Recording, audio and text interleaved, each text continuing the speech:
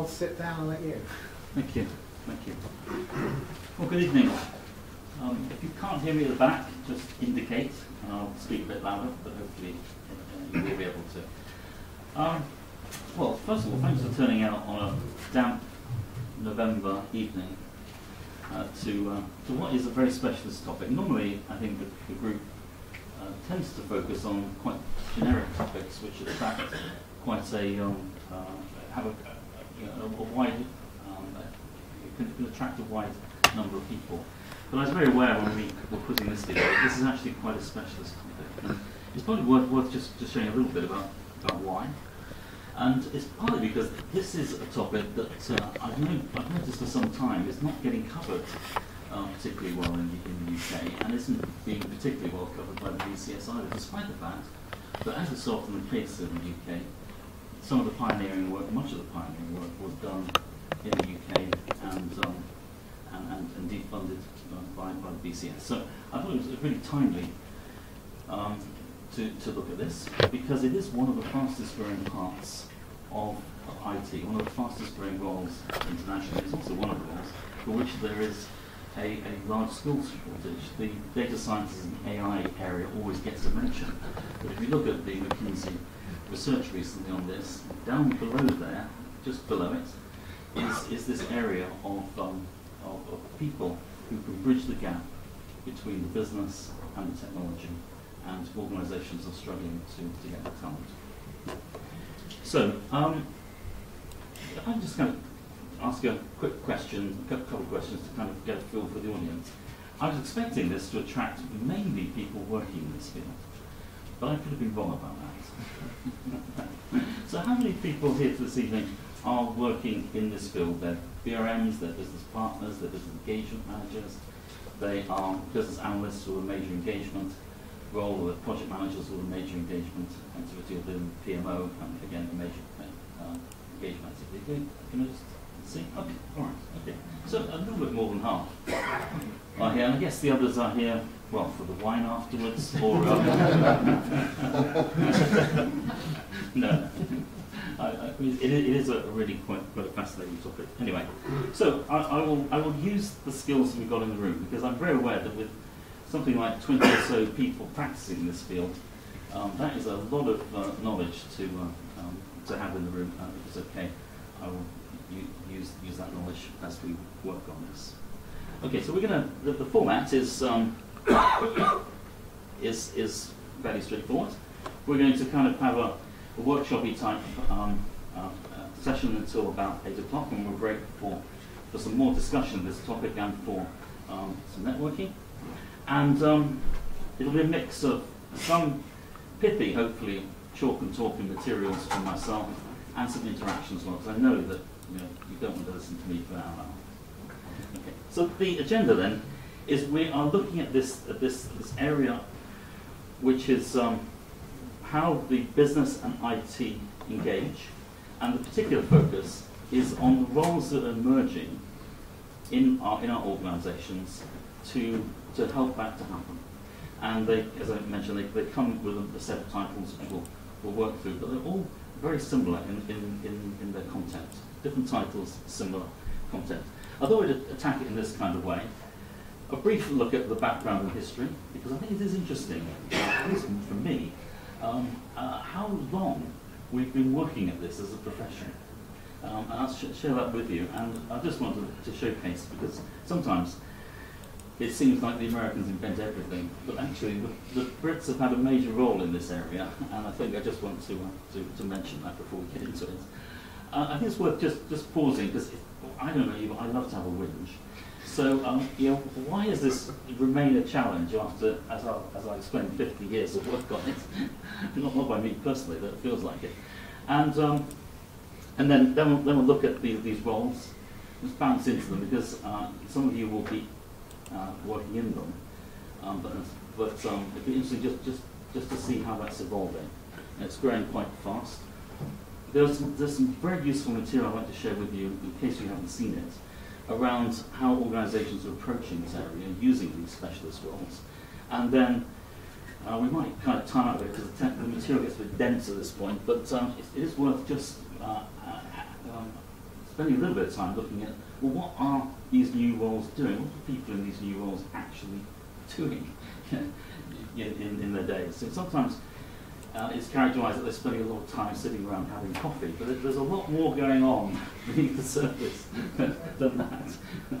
um, and then I, the thing which excites me most about this area um, is, is, is what is happening, how it is developing, and what the, what the future is, is, is uh, I believe, has for this role. So I'll share a few, few observations really on that. Uh, much of this field is under-researched. As you can tell, I'm, I have a PhD in this field, so um, you know, I, I, I kind of uh, am disappointed really that researchers have not done enough, enough work in this field. But it is under-researched, so a lot of this will be, will be uh, anecdotal a little and observational. Um, there's more research to be done if anybody wants to fund it. So, this is an area that doesn't really get funded. The, the slide deck is a, is a resource back. I'll just point off to some really useful resources. Some of you will have seen some of them. I don't think you will have seen more, so I think that will be useful to you. And I've also attached at the end of the slide deck uh, some additional material. So that's our um, what we're going to do. Okay. And this is me. Um, uh, I, am the chair of, of, of this, this, specialist group in the BCS. I'm a researcher, as I mentioned, and I'm a consultant. But I've done quite a lot of work in this field.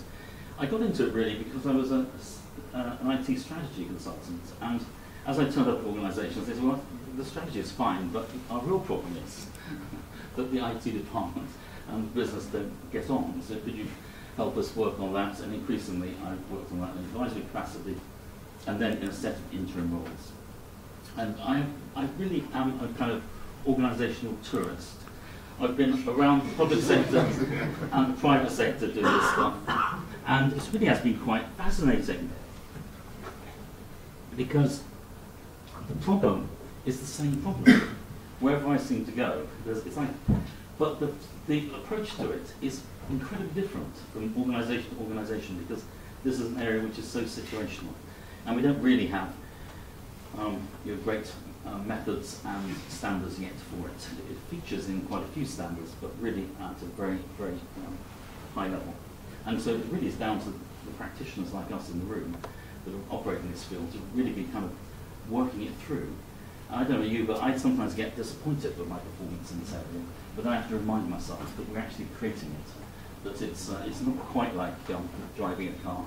Uh, we actually have to find our way through this um, um, this rich and difficult area. Okay, so the history. Um, I don't know if you remember the, um, um, the, the, the, film. I think it's, it's the Imitation Game. Imitation, Imitation Game, which um, uh, uh, which depicted Alan Turing's work during the Second World War on the um, cracking the Enigma code. But it's, it's really interesting. There's a, there's a scene where his his business sponsor gets completely fed up with him and turns up to, to shut down the machine, axe the project, and, um, and, uh, and give him advice. And actually, actually that's fired in film. I, I, I don't know how, how much dramatic license there is there, but I understand it is, that did happen.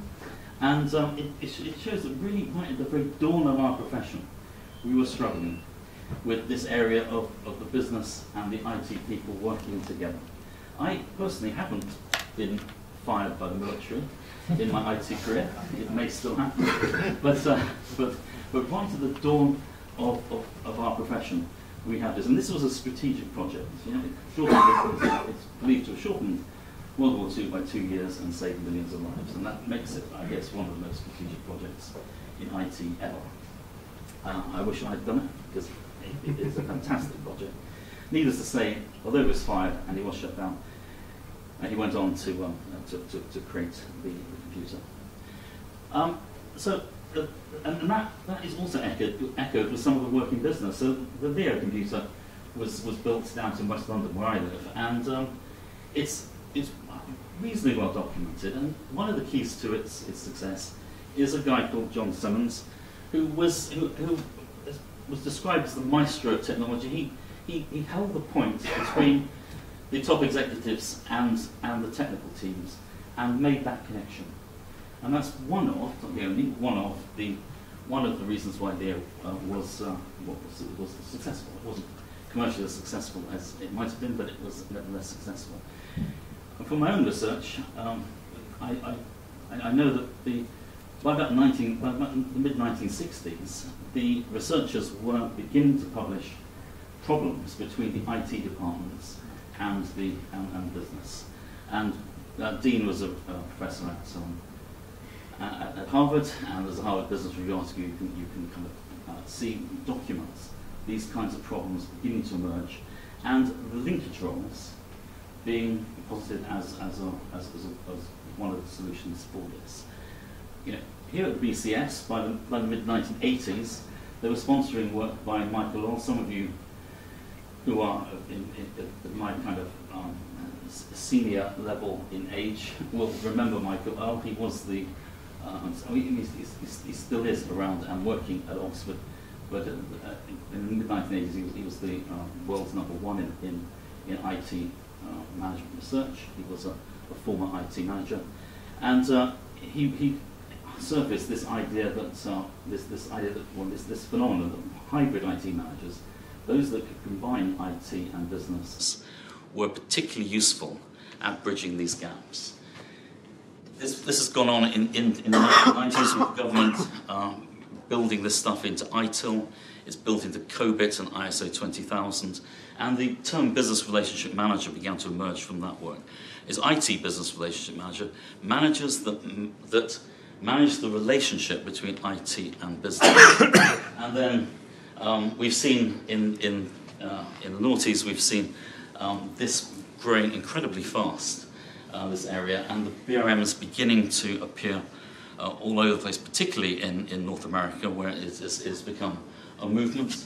The BCS was, the, I believe, the first to put, put down, lay down a, a certification in this field, the ISEB certification in business relationship management, which, which I did uh, very early on. And at the moment, we're, we're continuing to see that grow. The BRM Institute, which is a US uh, professional or membership organisation that specialises in this field, um, uh, has, uh, has, has, was established in 2014 and has grown to 6,000 members in about five years. Now that compared, that's one tenth the size of the BCS.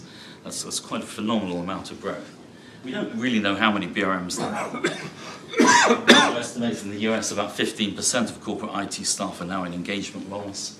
Um, uh, and we're seeing in the UK the emergence of the title IT business partner is becoming more common. Uh, and I, the, the, the, logic behind that is that in corporate services there are HR business partners, there are finance business partners, there are all sorts of things. So it, uh, it's not really that surprising to see that kind of title emerging, but both titles are around as well as business engagement manager. So we've, we've seen quite a bit of, of, of growth um, coming, coming through. And so, and this, this, is, uh, this, is, this is Noddy research. I don't, I don't, I won't get a PhD, another PhD for this, but this is looking at LinkedIn and just pulling up some of the organizations that have these roles at the moment. And so you can see that uh, this, and in the UK, in the UK certainly. So I was trying to get a feel for the UK. It's not exhaustive, these are just examples, but you can see that, that these roles are now populating much of the IT landscape in, in the UK. Not all, by any means. I don't know what the penetration percentage is, it's, it's, uh, but it, it's significant, but it's also growing as well, which I'll come, come on to later. So yes, this is going to give you a feel. You're getting, getting excited. This is, you know, this, this is slightly surprising because they they they they're not they're, they're not as um, they're not hitting the press as much as as AI and Terminator, are they? but, but, the, this is quite phenomenal, isn't it? anyway, so I think so. Anyway, that's why that's why I'm sitting here or standing here rather. Okay, but uh, bear with me for a second. You can't read this. You will be able to in a second. The, there, there is still a problem and this is why I continue to work at this. I don't go, okay, the problem is solved, because the problem isn't solved. Because this is from McKinsey. It's, it's very credible work. It's uh, global, uh, I, global, large global organizations, that IT departments. Uh, sample size is about 700. And um, you can uh, you know, digest this at, um, uh, from, the, from the slide deck, and I've also attached the, the link into the slide deck. But just just look at what is what is what, what the feedback is from this. If we look at the the current, um, if we if we look at uh, the, the, the different approaches that there are to to the to IT departments, from supplier, where the IT department is treated as a supplier of technology services, through consultants, where the IT department is is brought in when there's an IT issue to be discussed, through to partner. If you ask most CXOs, they'll say, well, we really do, we really should be partnering and working closely together, and uh, convergence is, is where we're all going. But when you look at the, the data, although three quarters of the organisations know that that's what they should be doing, only about a quarter are owning up to any kind of achievement on partnering from, I guess it's from low to high, and 50% are, are, have their IT departments positioned as suppliers. Yeah. And does that square with your with, with what you're experiencing here? That, that there's, there's, there's, there's a talk, and there's the walk, and there's a gap. and it shouldn't be. yeah? Because this is potentially catastrophic for these large organizations as the fintech, legal tech, all sorts of tech uh, start to salami slice their, their core markets.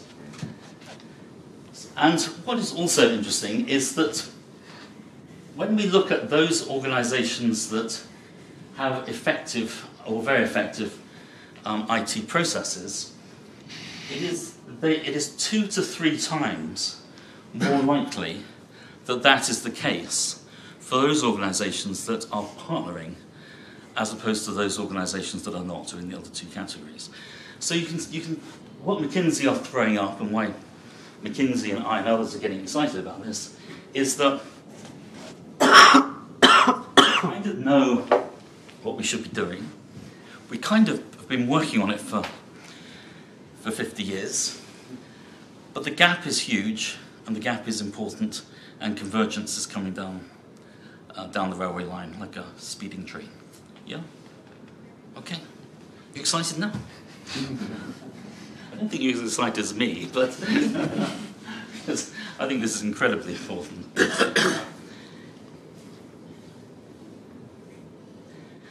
so why does it remain a challenge? Well, I was, I was I, some of you uh, will have seen this, um, and we've got some limitations, so I won't be showing it. But um, if you haven't seen the, the the clip of the, of the support centre from the IT crowd is worth two minutes of your time just to see it. It's, but it, it, it depicts some of the challenges that we, that we have. The IT department in, in Reynholm Industries, they, they um, are having to deal with the business who ask them some quite ridiculous questions. It's very difficult to, uh, for them to uh, identify with them, but in turn, the IT department speaks to them in a, in a strange language and has um, uh, all sorts of other things that they'd rather be doing. And, and that has been you know, the core of the challenge, that we've specialised and our IT people have one culture and our business have another culture, and getting the two to work together simply isn't easy. I'm going to use your talents now. Okay. Five minutes in buzz groups. If you're from the same organisation, choose another another person to, to, to work with. Remember what um, Simon said that um, uh, you, you, you need to be careful what you say uh, disparaging about your organisation. But just, just share amongst yourselves, um, in groups of two or three in buzz groups, where your organisation is on the engagement between IT and, and the business. Positive and negative. I know I, I tend to tend to drone on about the negative, but there's the positive as well. Where where is your organisation? Okay, yeah, just so just shuffle your desk, your, your chairs around. I say, I say the good thing. Southampton working up here. Along that chain, which can sometimes be quite. We, we live down near, near Portsmouth, Southampton down there. So wow, wow, wow. I'm, up, I'm up here for a couple of days, so I just say it's just great that I'm, I'm up here. I look at what's going on. Hey, can you enjoy enjoy your discussions to a close and come back?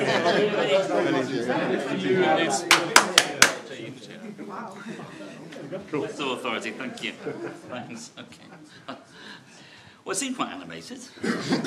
yeah.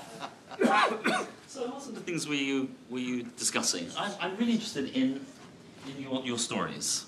Um, which does anybody have to discuss anything which was really amusing that can be aired on, on the internet? Most amusing story it was the one. So serious. Surely there must have been an amusing story somewhere. Most insightful then. We're, we are the BCS and it's a studious organisation. In, insightful things which you, which you were discussing. I think the internet's the problem. you, you, get to become an internet star for, for, for sharing insights. That, that, was the insight, wasn't it? well, the insight is the internet is, a, is an inhibitor because of social media. I can identify with that. Okay, all right. Well, let me, let me kind of add a few of mine then from, from my, uh, my organisational tourism. So I'm just going to give you a few things which um, are mistakes, which uh, you, you might identify with in some cases, because you may have experienced them.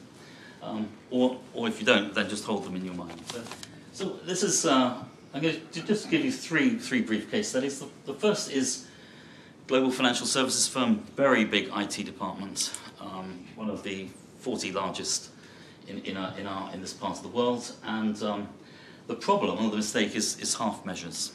And I've seen this in several situations. In this particular case, the, the, um, the, the CIO was, was a very experienced CIO, but wanted to uh, introduce engagement for a particular purpose, which was that the level of IT and digital innovation that the company was achieving was too low, and the, and the top team, particularly the CEO, wanted to raise it, and they brought in engagement professionals to help them do that. And um, and it was quite successful at that. But there were all sorts of other issues that, that were in existence between this highly centralized IT department and, and the various business units, which, which, for which there wasn't an outlet.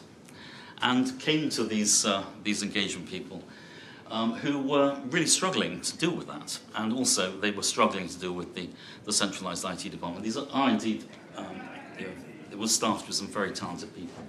So the, the mistake there is, is, is, the half measures mistake. But I think what, what's, what's increasingly clear in this area is, and we've kind of, I can kind of understand half measures a, a decade or two ago when people weren't quite sure about this area, but the level, scale of investment and, and track record now is such that it's, um, it, it, it, there's no reason not to go and do it properly. And so what I'm, what I'm kind of highlighting there is one of the insights that I've noticed is that organisations tiptoe their way into this, but it, that comes at a price. Going in fully is, is a much better approach. The other problem I'd kind of my, my practice, which I, if I was if I was with you, I would have been sharing with you, is, is what I call the piggy in the middle problem. And this, uh, in this particular case, I, I, I encountered it at a, a healthcare organisation, um, a situation where the uh, underfunded centralized large IT department um, was, uh, frankly, almost hated by the clinical business units and really difficult problem. So, engagement people, BRMs, brought in to help deal with that, but just ending up as piggies in the middle between um, two between these, these, these two areas. And in, in some ways, um, making it possible for the IT department to shield behind them and for the business units who weren't that mature in what they were doing uh, to, to uh, load demand onto them, expecting, expecting them to sort it out. I mean, that, that led, in this particular case, to an incredible turnover of BRMs um, because they were just burning out in this, in this situation where they were caught between, um, between the IT department and, and the business. So I think it, it, the, the, the, term BRM is, is a manager of business, uh, of business relations, or relations between the business and It's not to be the person between the, the business and IT and to take the buffering from both sides, because that is really quite, um, quite demanding. I don't know if, if, if, you've kind of experienced this, but um, uh, uh, you, you can find your BRMs uh, really having an incredibly tough time in this piggy in the middle situation. And also the other, the other, the other one, which, which uh, from my experience I, I'd highlight is, is not, the, not focusing in on value. So I've noticed that organisations, particularly when they enter this space and build their BRM, uh, sometimes don't realise that, um, think it's really about pleasing the customer. In this particular case, this is a, a government uh, organisation. The, the BRM teams are, are distributed out in the business units, and, uh, and, the, uh, and there, there is that, that gap that we're talking about. But being out in the business units, they, they identify very strongly with, with those, those business units and kind of go native. they, they kind of got native when I arrived anyway. And, uh, and, they, and they, they, everybody saw, they saw themselves as being about pleasing the customer, a term probably best not used in this context, but often used. And, um, and then finding that, um, uh, that, uh, um, that, they, that, that, they were unable to really to kind of deliver on the promise that they were, that they were, um, um, uh, you know, that they were kind of implicitly making to the business units. And, and it also made them quite unpopular with the, with the, with the IT department because it, it wasn't that they were, they were trying to um, broker a good interaction between the IT department and the business units. They were trying to represent the business, business units into the IT department, and in that way simply perpetuating the problem. Now, that is there's, a, there's a good news story there, which is that the, um, that I put the, all, of the, all, all of the people with engagement roles through the, the BCS ISOP course. And uh, I would recommend this as if, if you're in this field thinking about this, because that really changed the way people were thinking about the role of these, these, um, of these, these BRMs and, and others. That actually engagement is an economic activity as much as anything else. You can certainly be, be nice and have, have, have a good social time, but it's really an economic activity. And, and that, that really led to some quite different behaviours and some dramatic improvements. So I think that I, I highlight a few of the problems that, that, that, I've seen out there, a few of the insights that I've, that I've come across. Sean? Okay, the engagement roles themselves. There's a couple of just headlines I'd like to clear away before we get into the, these engagement roles, which are out of scope for our discussions. But it goes without saying that the CIO is the BRM in chief. The, they, they, they have a major role in engagement, and it's a topic possibly for another, another evening. But, uh, but there's, there's I, have again pulled out stuff from my, my friends at McKinsey, but um, uh, you know, the, there's a, a, stack of research showing that when BRMs, well, sorry, when CIOs engage with the business on the business side of things, the, uh, the effect for the business and on the performance of the IT department is, is extremely positive. So they have a, a really big role but they have a finite capacity. And the CIOs that I've worked with have to, have to live in the executive corridor and protect the, the IT budget and, and other uh, such things you have to do at the CXO level. So they rapidly run out of, uh, of, of, capacity, has been my observation. Um, not the topic of, of today's talk, but important to say that they are part of the engagement equation.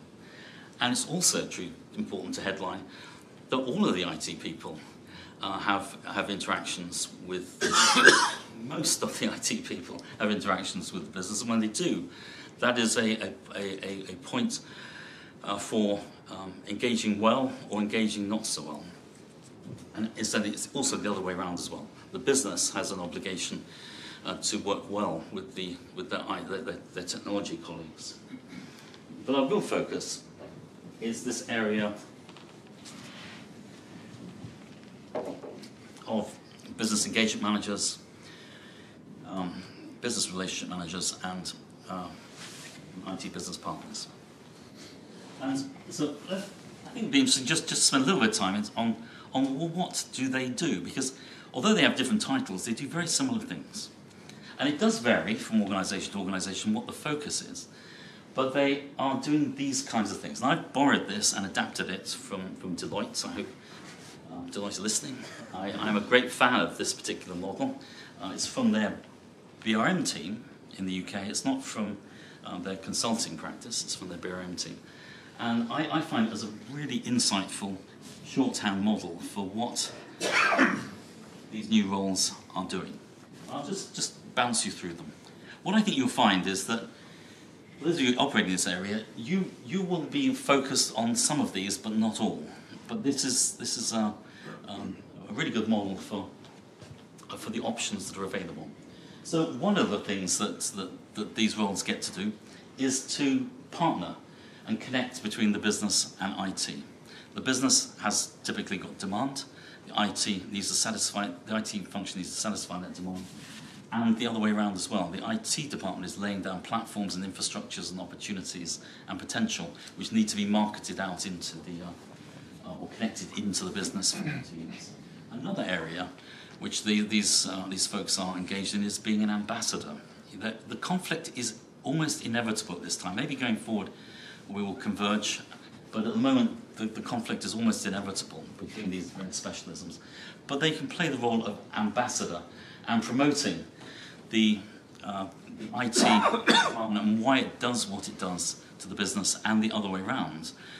Uh, working with the business to identify well, what is driving that business and helping the IT department, who of necessity are running networks and data centers and, and projects and services, um, for them to understand it better. There's the area of, of strategists. Now, there's, there's grand strategy, but um, there is a kind of gap which opens up where um, the IT department needs to understand a bit further forward than, than they're typically engaged what is required of them. Often they're engaged late, often they're engaged too late. Um, but it helps the IT department if they can understand what the business is going to be demanding. And it helps the business well, it, does, it, it, does help the business to understand what their IT roadmap is going to be. Uh, now, in, in, in, many, most of our organisations, we have multiple business units, strategic business units. Um, so, working with those business units and those central functions and, and, other parts of the business to identify those IT roadmaps is, is, is one of the areas that, uh, that, that, these new roles are, are engaging in. To give the business, IT, uh, IT department further forward vision and to help the, the business to work through what, what it will need um, to fulfill its business objectives. Translating, I don't know about you, but um, I find myself spending a lot of time uh, reinterpreting what the IT department has said for the business so that they understand it, and reinterpreting some of the things that the business say so that the IT department can understand well, what, why are they getting so worked up about it? What is this regulator? You know, why are we worried about this regulator? You know, what is compliance? Why are we worried about it? You know, well, you know, it's and, and you know, kind of if you've done a CS degree and you're really into um, a technology stack, it really isn't that exciting for you. But it, it, it, having it explained, if it's entering your world, is, is what these new new roles uh, do. Uh, uh, I, I've experienced quite a bit of time spent as an analyst you, you wonder why we would use these roles when we've got business analysts around, but we do a lot. They, these roles do pick up things very early and do some high level business analysis on, the, on these roles. I know the business don't want to hear this, but often when they have ideas, they are very early formed. They're not very specific. They think they're, the, they're great. You know, they think they're totally clear, but they're not. And so these roles are often getting in those early dialogues, and it's sometimes called demand shaping, but, um, but really um, being a high level business analyst and working out, working with the business to help them to articulate it better and to shape it in a way that it will enter the IT department and its architectures and its platforms in a, in a, in in a slightly easier way. Marketing. IT departments lay down these platforms and then they expect miraculously that, that things will be adopted and used, and, and, and because it's, it's great, and Microsoft also agree it's great. But, but these roles have a terrific role in driving out value, the ROI from IT, uh, by, by, by actively marketing into the business. They're out in, the, they're in this in this middle role, and they can be in both in, in, in both uh, areas and fulfill that. and indeed, there's no reason why it shouldn't be seen as a marketing and sales exercise. It's, uh, it's, it's perfectly reasonable to do that.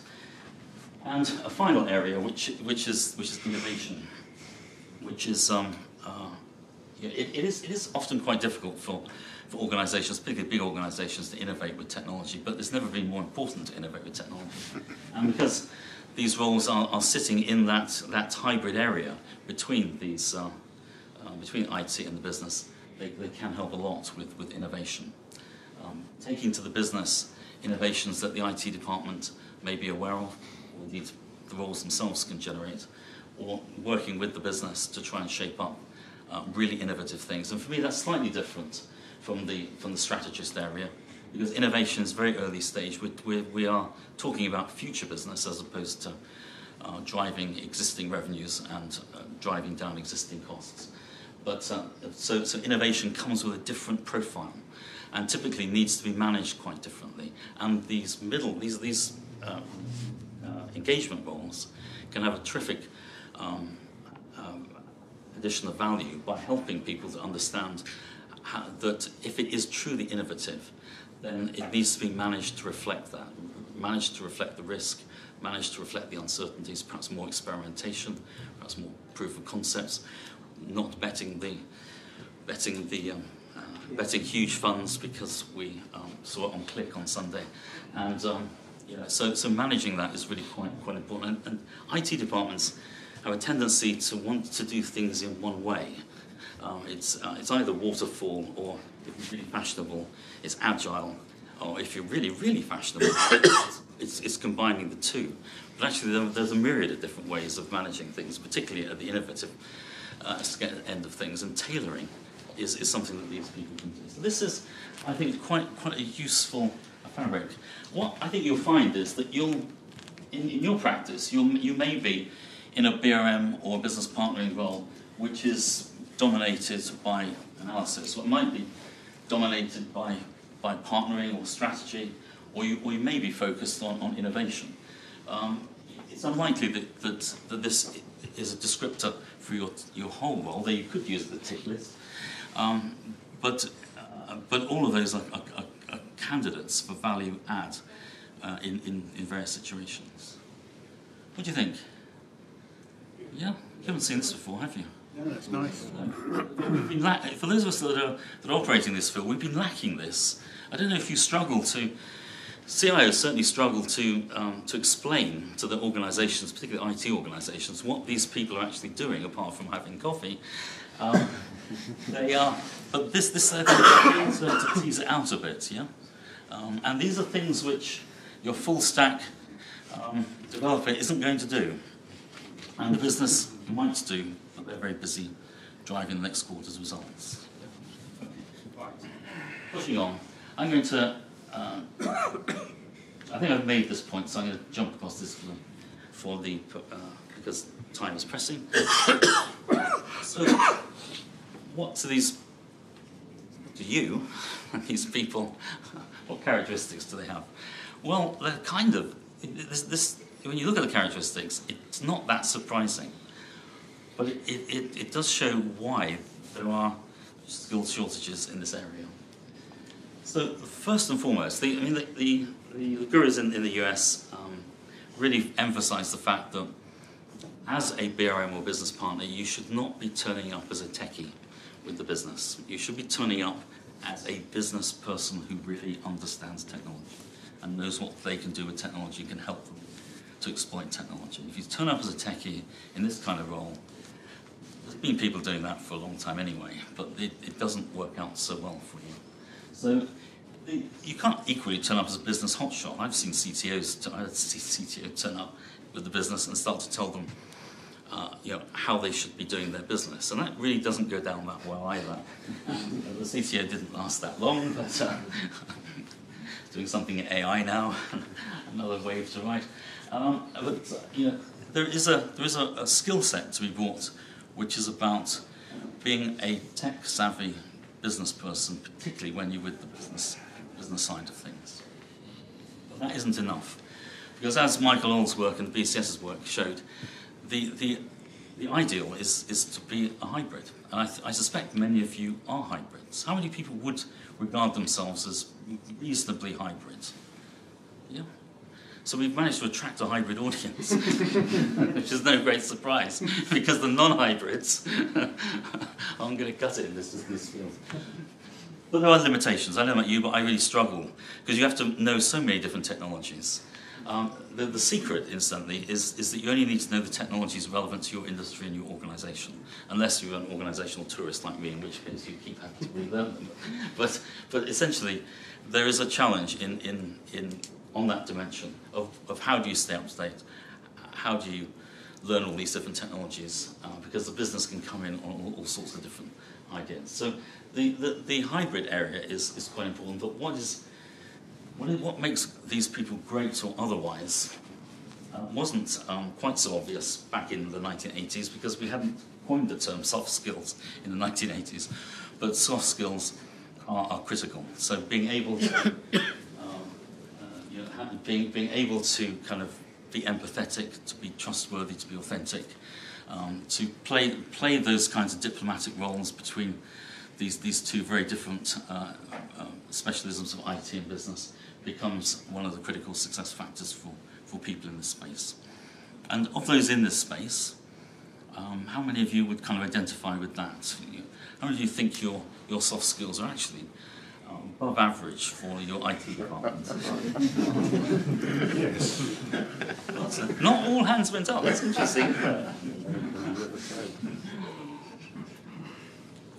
But you, you can begin to see um, in a sense why I get so excited about this area, but because it is, it is quite a challenging area to be able to, to develop those skills and to deploy them consistently is, is, is, is, is quite a challenge, isn't it? But that is the kind of, that's pointing towards the, the ideal uh, characteristics of, of us as business partners and BRMs, and it's a, it's a hard challenge. And of course, you never get good enough on any of these. Okay, so um, pushing on, organisations um, moving out from the role to uh, what are they, what are organisations finding out there? Well, one of the most promising pieces of kind of industry research that's come through is, is that organisations are on a maturity curve on this. And I've, um, I've, I've included in the notes three of the, well, the three um, um, models um, for this area. They're all um, copyrighted, so I can't use them. But fortunately, I have my own, so we'll have to look at this. But, but if you type these into, into Google, you, you will get a hit and be able to look at them in some depth. So, and they're, they're on the notes. And they are all very good. I would recommend particularly the BRMI's maturity model, which is beautifully um, designed and is uh, really quite nice. The other two are, also good. Vaughan Merlyn is a Brit. He's an ex-EY partner uh, who left the UK many, many years ago to, to, the US and has been one of the pioneers, which is why his is, is probably not quite so well designed and, uh, beautifully presented as the as the more recent BRMI model, and then we have mine, which is uh, which is essentially kind of very similar to, to all the others. Basically, what we're finding is there is a maturity curve in play and the organisations are at different stages. If, you, if, you, if, if you're not actively managing it, then engagement happens anyway. And so uh, organisations, some organisations are still very ad hoc about how they, how the IT and the business area work on this. But the, but uh, the basic level of management is, is that of order taking. I suspect some of you will be there and research that we saw earlier indicated that something like 50% of organisations are down at this immature level globally, where the IT department is essentially taking orders from the, from the business. And I, I've heard them say, IT departments say, well, you know, if, if they tell us what we want, we'll build it. Well, you know, that, that is almost, almost feeding into an order-taking um, positioning. Some of them have evolved using ITIL into a version of this, which is SLAs as uh, um, as, as, agreeing what the business requires. So the business tells us what SLAs they are and gives us the money, we'll build it. But it's still quite an immature way of doing it. Whereas others are beginning to move up. We can see from the McKinsey work that maybe it's, it's, uh, maybe it's a quarter if you're really optimistic, but probably not in truth. Um, our organizations are kind of up at the higher end, where the, their engagement activities with the CIO, the BRMs, BPs, etc., are of, of generating uh, a situation where they have become the business's trusted advisors on IT, particularly the BRMs and, and business partners, or indeed that they've moved into a more advanced stage where they are they're not just regarded as advisors, but, but intimate strategic partners in driving them, driving the organisation forward. I've kind of muted that we're heading off towards digital convergence. I don't think any of anybody here achieved digital convergence. You wander around your organisation, you can't tell the difference between the IT people and the business people. No, no, nor me either, but uh, maybe before I retire. Um, but that, that, that maturity curve is quite important because there's a couple of other things which kick in here, which is what is the maturity of the business and IT? And this, this, this also came out in my doctoral research. But actually, one of the, the keys, the keys to enabling or disabling the ability to use IT strategically is, is how good the business is and how good the IT people at doing this sort of thing. So if you have a, an, an immature um, business that um, leaves everything to the last minute, doesn't think things through, thinks it's IT is somebody else's issue, and when they want it, they'll, they'll, they'll tell the IT department. Hopefully, when it's too late for the IT department to say no. Um, and, uh, or if, if, you're, if you're a te technology house, and I, actually, you know, you, you, you have got really good at order taking in SLAs, um, you're not, but you're not really that great at, uh, at identifying business opportunities to, uh, to take on the competition. You're not really working in, in close partnership um, with the, then, then, then those things will impact. Because if, you, if you're down here, then it's very difficult for the BRMs to be up here. And one of the, one of the insights which, which, which, which I've come away with over the years is, is that CIOs and CEOs will often appoint BRMs and or set their, their, their annual objectives as if they should be over here when the organisation is over here. And then that's going to be really tough for those, those, those, those people in those roles to deliver on that promise. By and large, what I do these days is if the organisation I'm working with is, is down here, then I'm, I'm in there promoting order taking. let's, let's get that, let's be the best order takers on the face of the planet whilst trying to, well not trying, but whilst moving the organisation up, up these maturity curves. If they're over here, then, then I, no one's going to be impressed if I'm promoting um, order taking. I need to be up here as a BRM or business partner and be doing those kinds of things. So that, that I think is quite an important model. Do you think you have to go through each of those stages or can you jump from ad hoc into trusted advisor? So do you have to become proficient at each of those stages? Well, I, I form the view that it is helpful to work your way up. But I, I have seen CIOs parachuting people in here, and some success. Does that depend on how innovative your underlying organisation is? Because if you're, if you've got uh, you know, an IT department that is wanting to innovate and wants to change, presumably then you can just jump away from order taking and completely move on to becoming a more strategic partner. What if you get your business to play with you as well? Yeah, if, if your business is uh, is immature, then on these things it. Uh, um, I mean, an example, example that comes to mind is an NHS organisation I worked with where, where the, the clinicians just would say, we want it, and it's, it's good for patients. So, you know, I, what is this funding problem that you're talking about, you know? So if, if you're down here, then even your IT department's up here, that doesn't actually happen in the NHS.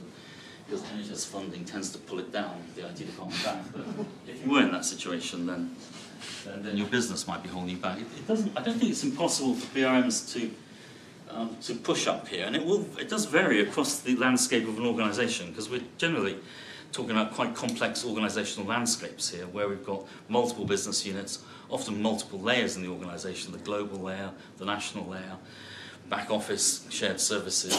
Organisations are becoming very, very complicated, and one of the reasons why um, BRMs become more and more important is to try and navigate that. It's, it's, often quite difficult just for the business to know where they should, who they should be talking to in the IT department. Just dispositioning, as the term is, is, is, is, is, a, is a value add that the IT, that the BRMs can bring. They know that if you want to do natural language processing, you need to talk to the team in Leeds, headed by Jen. So yeah, I, I, I think you, you, you're raising some, some really great questions which we don't really, I don't think we have answers to yet. But I think what is true is that if you're going to push, if you're a CIO and your organisation is down here, we know about 50% of them are, and you're going to drop your BRMs in up here, they're going to require an awful lot of, of air cover, support, TLC. You're going to have to go around and when they start, when they're in tears of frustration at trying to get the IT department to do, do something. Has anybody been there? Yeah. Presumably, though, if you don't drop in a BRM that's capable of working at those levels, Yes. you're never going to get out of the green. Yeah, yeah, that's absolutely true. That's absolutely true. Yeah. And, and often down up, up here, you'll find um, senior IT people and, and um, IT consultants being dropped in here. This is the, the province of ex Big Four, um, ex Strategy House people to be dropped in up there. Um, they are. They've typically got a lot of battle scars anyway, so a few more won't make any difference. yes, I mean, these are great points. But you can see how, how, how, this is beginning to kind of inform inform the debate. I don't know how many people have come, come across these, these maturity models, but they've got a lot of traction now over the last five years or so, and, and, uh, and are helping the design of, I- of, of these, um, these roles to be improved. I'm going to um, push on through the case studies because they're interesting to me, but I'm going to I'm to exploit your expertise again. Okay, so again, five minutes. Thinking about your experiences, if you've been a consultant or an IT manager or BRM, um, what's been the best advice on IT and business engagement that you have given to people in your role? Or, or what's the best advice you've heard, or read about, or seen, or noticed? Yeah, is that, is, is that, is that question okay, or have I been too accused? so, what is what is your what's the best advice you've heard or generated yourself about getting I, the engagement between IT and business working well?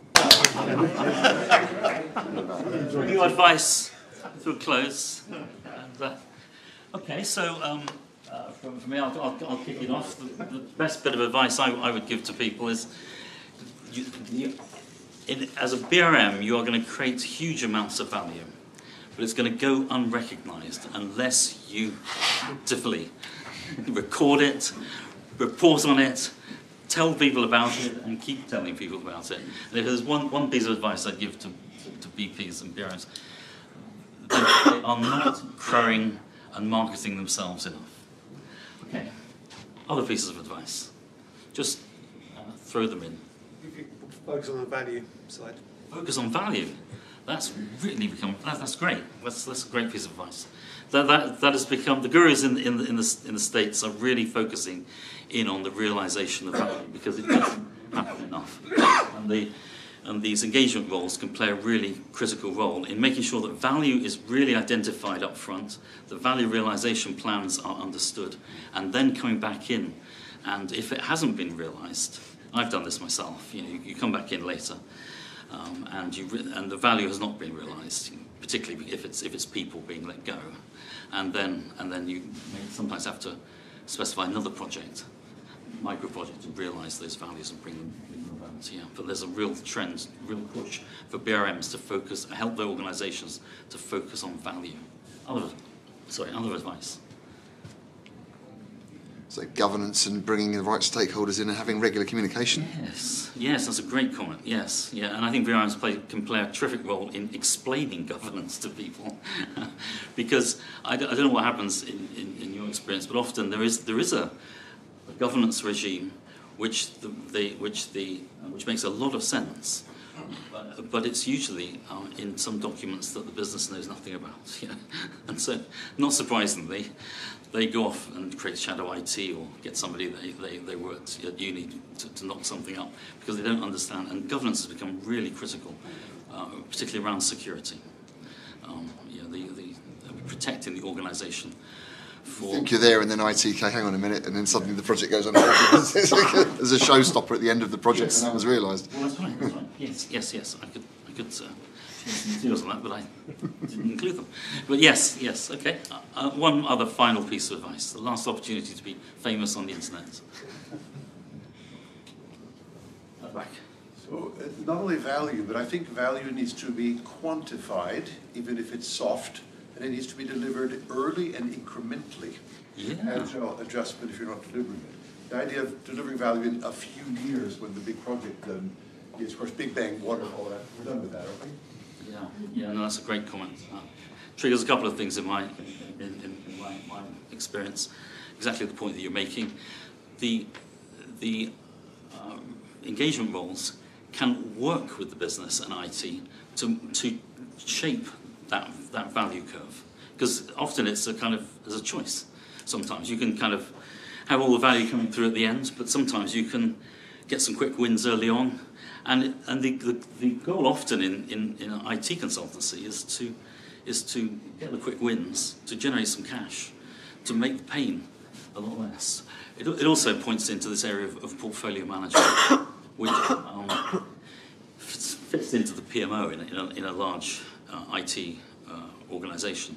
But the BRMs need, play a role in that, in shaping the portfolio. So instead of everything coming in um, and the portfolio being the sum total of whatever has been coming through in this order taking situation, to shape the portfolio so the portfolio is, is, is, is, is, is better shaped for risk, better shaped for, for value creation, better shaped for, for the cash needs, better shaped for the critical skills that the, that the IT department is, is struggling to, um, uh, to, to acquire is, is a role that the engagement team can have. Yes. I've got a question about that. We're saving money for the business. We're spending money on I, in IT to save money for the business. Why aren't we thinking of how the finances can be converged so that we're looking at the whole business uh, value and the whole business costs? Yes, yes, I think, I think that's, that's, that's, that's a great piece of advice. And I, I guess that's a component of this kind of convergence idea as well. But and I, I'm, I'm not, I'm not, not um, uh, countering it, but some of the organisations I work with are still on annual financing cycles. Some very large, some organisations which you'd expect to be much better at this than they actually are, actually just sit down each year and say, say to the, the business units, well, what do you want? And, and, and to do next year, and, and, and how much is it going to cost? Or the IT department engage in, in, in that with, with the BRMs. So, I, I think, think we've got a way to go, but that is, that is, the, that is the ideal. Okay, all right. Well, that's a some really good bits of advice there, yeah. I would certainly pay for. a little biased. Pushing on then. Um, I did, I did, I keep talking about um, this myth that BRMs spend all their time drinking coffee. But um, what I have included in the pack is, is some work which I've been doing looking at uh, job descriptions over the last four or five years as they've been coming out. Uh, some of them I've got because I've applied for jobs, some of them I've got because they're, they're up, up on LinkedIn. But I, I've put under each of these, these things the kind of, of really um, tangible processes that the BRMs are engaged in. So on partnering, for example, they are often uh, approach that by mapping out the stakeholders for the IT department mapping out the IT stakeholders for the business. They, they often have, uh, they, they often schedule partnering meetings on a regular basis and, and, and have those partnering meetings. These are really tangible things, effectively processes that they're running through. They often uh, look to see which relationships are not so good and actively plan those, and there are techniques for doing that. And um, similarly, on the ambassador area, it's extra extremely common in my experience, either um, formally or informally, for the BRMs to become an escalation point, to have oversight of the of the um, the uh, ServiceNow uh, incidents and the response to the service desk so that they can, somebody says, I, I ordered this laptop for my new employee and they've arrived, they've been here two days. You can go in and have a look and see what's actually happening. Um, and on the area of, of strategy, I mentioned roadmaps, but um, and we've, we've kind of touched on that demand management area as well. These are really tangible things which these, these, uh, these folks uh, uh, can do and do do.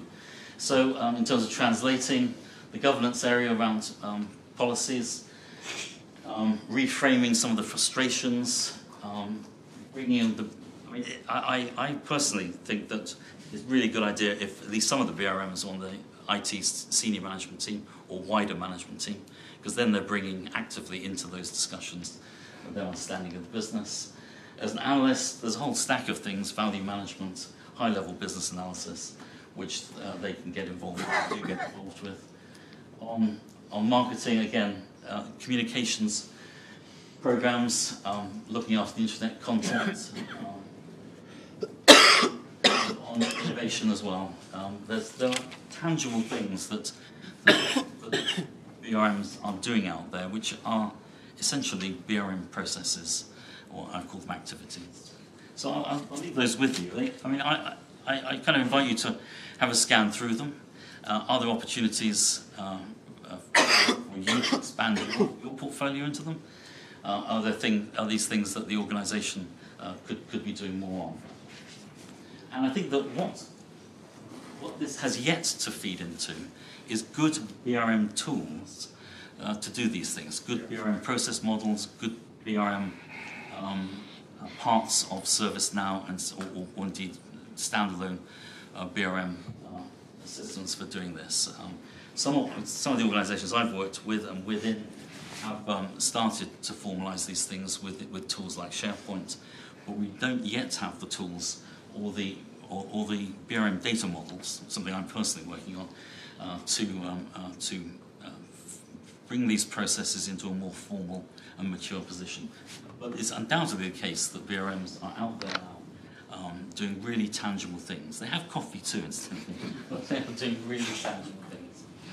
A quick, a quick word on, on how, how, do, how are these functions being organised. There is a, a very common model, but as I go around these organisations, they, it, it, is, it, it is substantially different in each organisation. But the common model is for situations where you have a complex organisation with multiple business units and your, your IT provision is, is quite, um, uh, quite sophisticated too.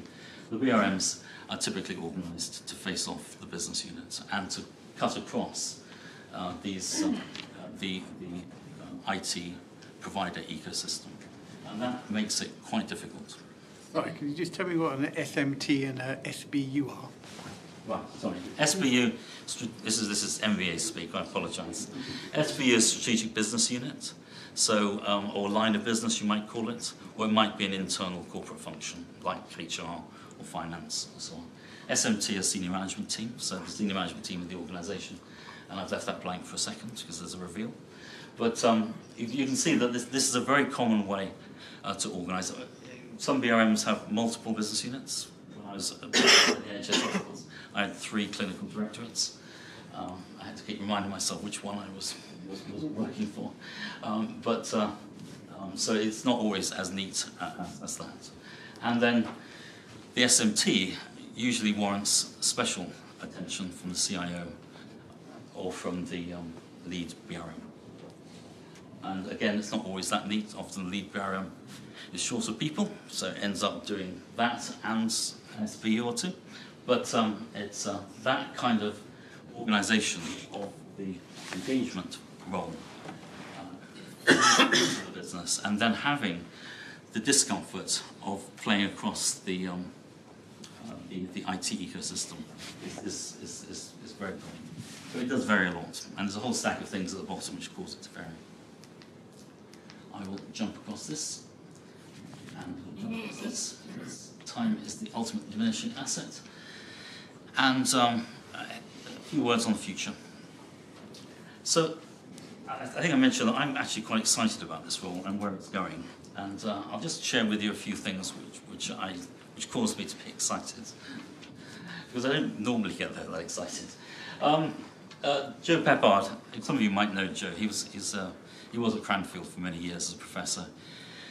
He's now gone to um, uh, to the US. They've offered offered him more money, I suspect. But anyway, he's at MIT, which is the epicenter of, of some of this stuff, and, um, and he's uh, a very a very a very smart chap. Um, and I think he's making the point that um, the challenge now is not just to develop a digital savvy IT department, and I don't know about what your IT departments are doing, but, but many I work with are, are struggling to bring on board these, these new digital technologies um, over, over and above their core ERP systems and their, and their legacy infrastructure. But he's pointing out that that is not the, uh, the challenge anymore. The question now is how to organize the entire firm for success. And he's saying that's fundamentally different. And this is the idea of, of convergence. And I, I am personally think that the, the, um, the, these, these engagement roles, I don't know what, what your experience is, are at the forefront of real convergence as opposed to talking about it or Microsoft having massive expensive conferences about it. But I think we, we are playing a, a role in helping organizations to get there and indeed um, not only the vanguard of it, but laying down some of the, some of the road towards convergence. That's a kind of conceptual thing and a long way out. There's more stuff which, uh, which, which excites me more immediately. I, I jumped on, the, uh, on LinkedIn to see who is building new BRM functions today. Have we got to the level of maturity that new that BRM functions, uh, new BRM functions are not being laid down by substantial organisations? No way. These organisations are laying down uh, new functions, Legal and General down in Hove, a big function being brought up, Islington, Southend-on-Sea, Carphone uh, Warehouse out in Acton, laying down a new team, um, and some individual roles at organisations I would not have expected. Associate British Ports up in Hull, laying down a completely new team. Even the Church of England is, is, is out there getting their BRM. You know, I mean, God is going to BRM. and Portsmouth Hospital have been trying for some time to get somebody to come and be a digital BRM out in that area. So the, the, the, the movement is continuing, yeah? And, and I will only have picked up the, the, the ones which are visible. The ones which are invisible will dwarf uh, these examples, but these are not uh, small organisations. So this, the adoption is continuing. The adoption curve is continuing onwards, which leads me to be really excited about it. But there's also the other thing which makes me excited is actually there's a lot of work to do. There are an awful lot of, of I've called them failure patterns, which, which are now visible to us after a couple of decades. You know, I've mentioned some of them already, um, like the uh, piggy in the middle problem. But the, there are some other fact failure patterns which are very visible as well. For example, not reporting into the CIO is a real problem for a BRM out there. And, and, and my advice to CIOs is, you know, drop some of your other reports. You know, get at least one of these BRMs reporting into you, because uh, otherwise you're just not going to get the benefits.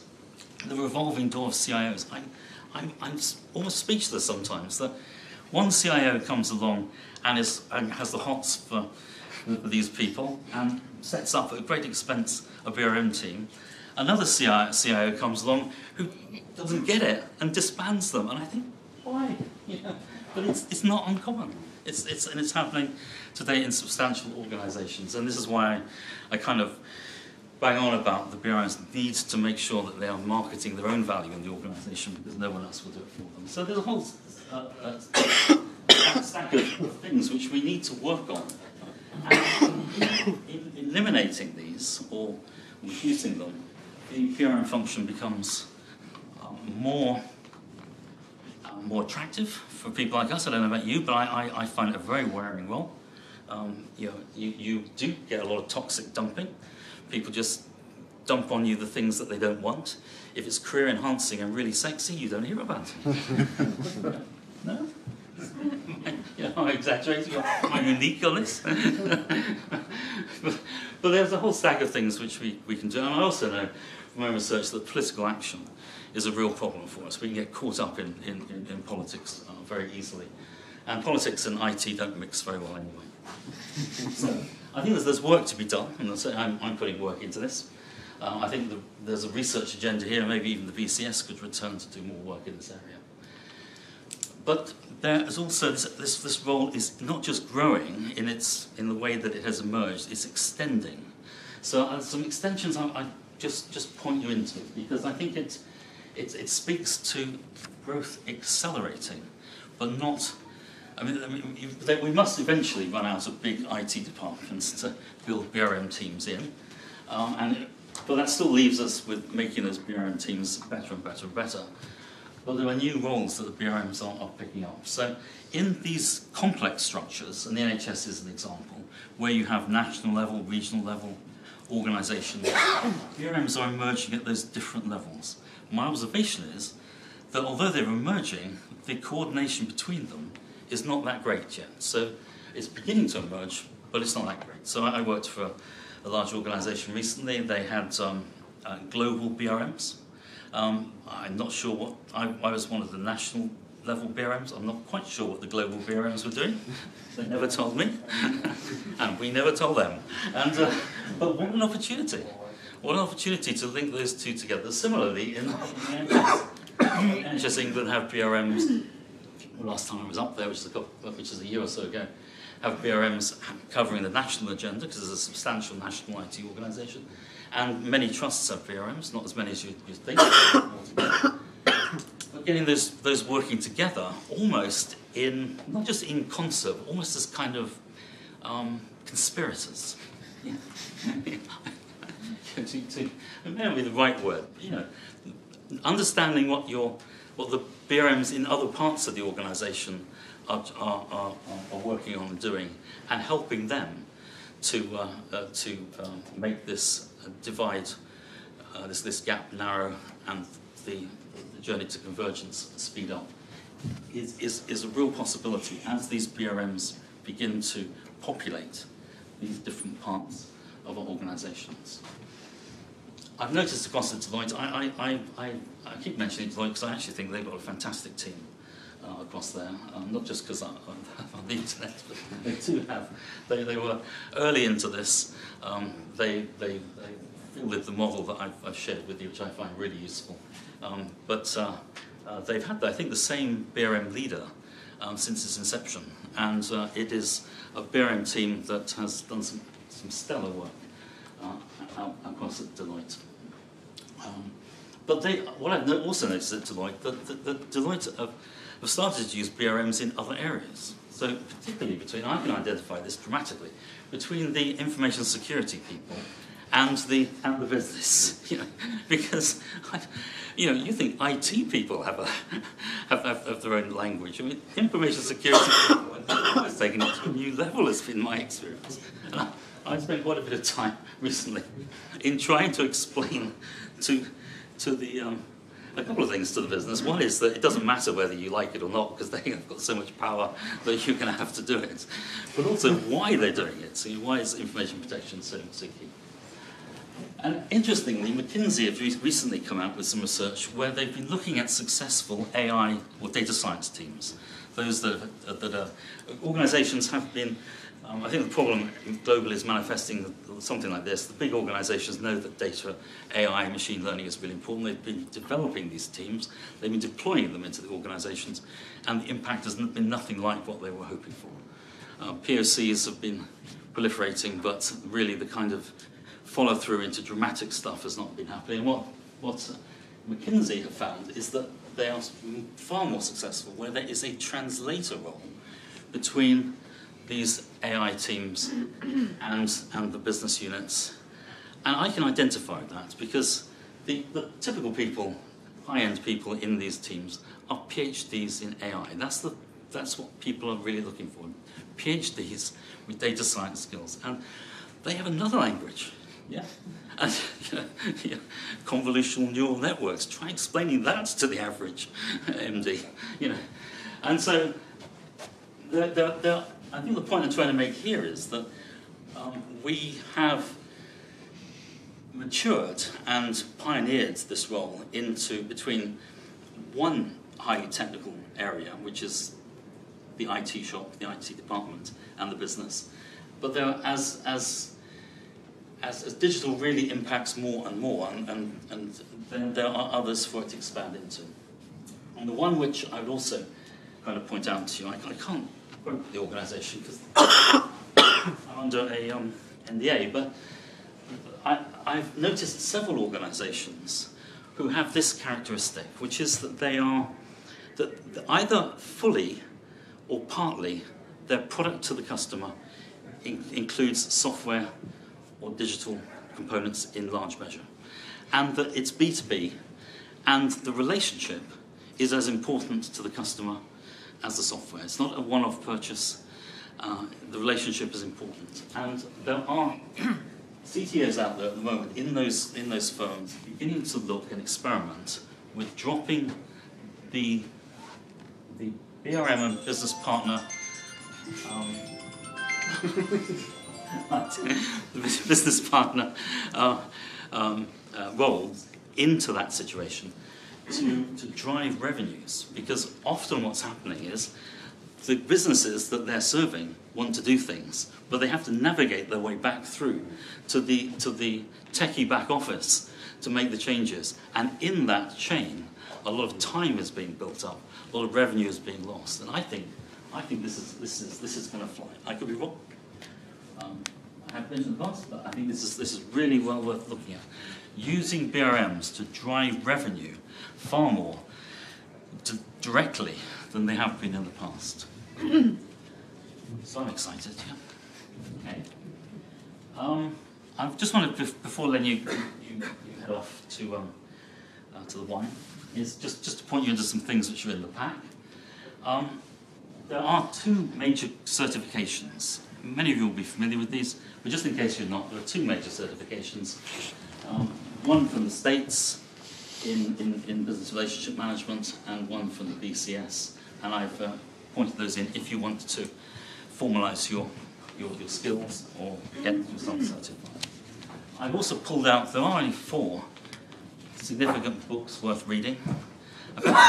Four books. They are all worth reading, although the BCS one is dating a bit, there's still an awful lot of value in it. So I've, I've pulled those out with the Amazon link. I don't get any commission, but those, those are four. And I've also included in the pack towards the end the contents pages so that you can kind of, um, you can't try before you buy, but you can have a look to see what, what, what's in it. But if, if you are the sort of person like me who, who reads a lot, these are, these are worth, um, uh, uh, worth what is a relatively small amount of money and are full of wisdom. The latest one is from Vaughan Merlyn, which you'll, notice towards the end of the book he goes into uh, in, in, in, into a, a long discussion of his um, of his hobby as a as a as a musician. So you can leave the, the, the back end of the book. but the front end is quite good, and that's the, the, the, the, more recent. And the, there is a body of knowledge which has emerged. It hasn't been built by the BCS. I'm, I, I can't report. It's been built in the US by this organisation called the BRM Institute, it's a membership organisation. And uh, unfortunately, to get to it, you have to become a member, but it isn't a huge amount of money. But there's an awful lot of stuff there, including a lot of tools and documents and so on, which you can take and adapt. Not as many as I'd like to see, but, but uh, a lot. Well worth looking at. Okay, we're going to head up to questions in a moment, but I want to leave you with a task, because we're going to head into networking shortly. And I, I want, but I don't want you to kind of just, just go and talk about how Arsenal are doing or not doing. what I want you to do, to do is to go away with the task. Las Vegas rules apply, which means what, what happens in Las Vegas stays in Las Vegas. So you, you won't be on the internet anymore. So, so but you know, know, share share your, your stories. You know, because I think there's terrific in, in this room. We've got almost half a millennium of experience. Yeah. Um, it's a terrific experience to uh, to use. So uh, you share share the stories, and also you'll see that some of us have got these these, these snazzy gold badges. That means that we're actually um, volunteers in the BCS and sit on, on a committee, which which so we organise this thing. So it's uh, people Simon and Antonia and Colin and myself. So if there's more that you would like us to do in this area, tell us about it, and um, or indeed not even in this area, in any area. We'd be really interested to hear what things uh, you and your colleagues would turn out for on a damp November evening. okay, I, I'm happy to, to, to, take questions individually and to take questions out with the wine. But are there any questions which you'd really like to ask in plenary? What would you say is the main difference between the BCS and the BRMI approach? Um, well, I, I'm a great fan of the BCS um, certification, and it is a very good certification. Um, I, I've, um, I, I could tell you stories uh, about how I've used it, but, um, but there's not. But the the BRMI's qualifications are also good as well. And the, what the BRMI are able to do, I, I think this isn't actually legal in the UK, um, but they, they do give you um, post nominals, you know, letters after your name, which you don't get with the BCS certification. And they also now have different levels. So I think you become a, uh, a BRM, a certified BRM, and I, now, I don't think anyone's got this yet, but you can now become a BRM, a master BRM. A bit like kind of a master gunner, really, but this is this is America. The the BRMI's courses are done in the UK. Um, they're both very good. There's, there's nothing wrong with either of them. Has anybody done the BRMI course? You're BRMP. We have a BRMP. And, uh, I've done the ISEB course. Anybody done the ISEB course? Gosh, what, what, a, what a marketing opportunity for Okay, it's on the site. Uh, well, well worth doing. Other questions for plenary?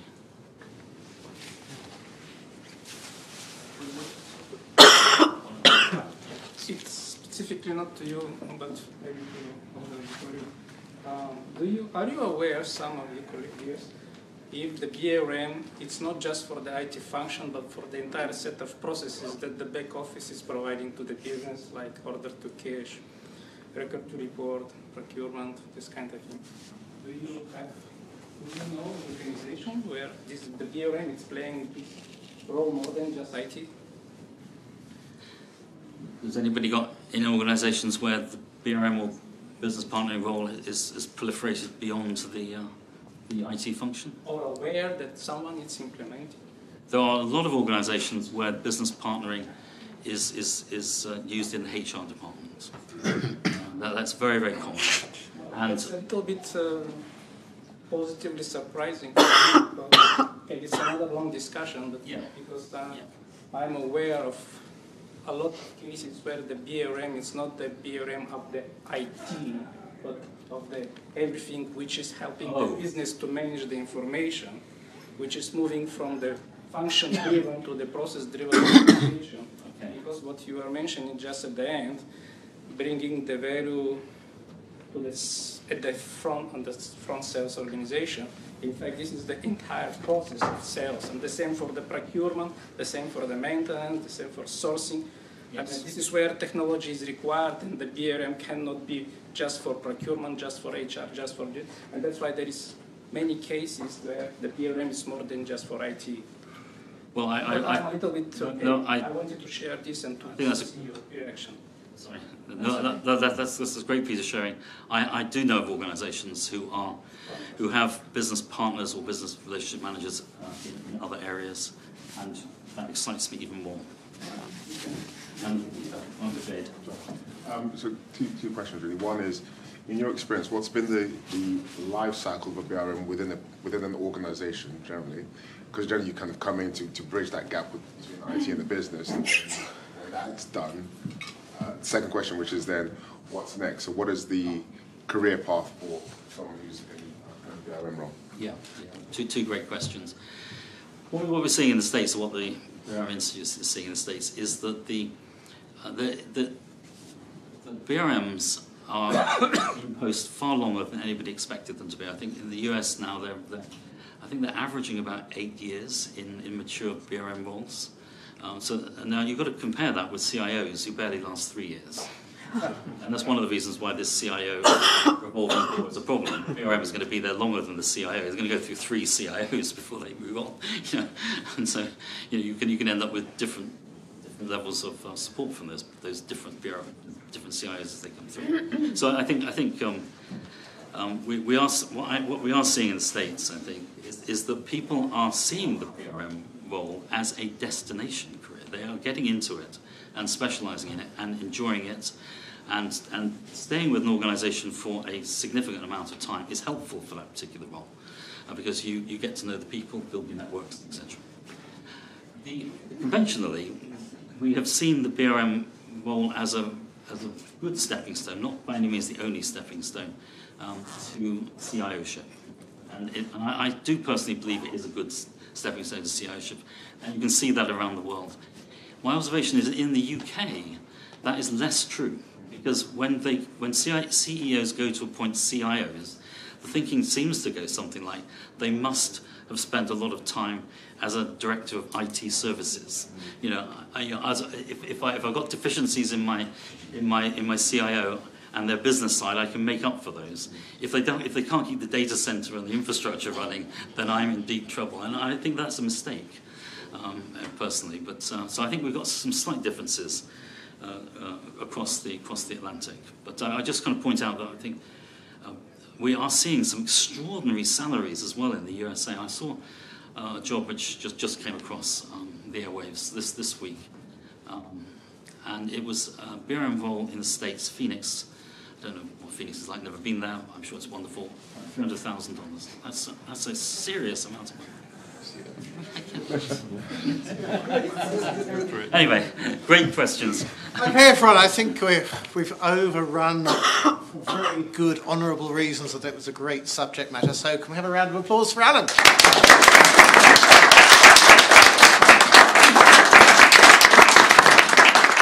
Um, just a couple of things to say. Um,